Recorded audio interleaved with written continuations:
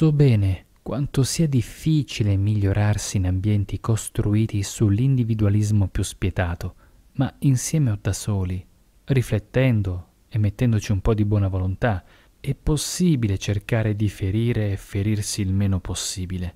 E passo dopo passo si scopre quanto, così facendo, sia possibile migliorare la qualità della vita, sia nostra che del nostro prossimo.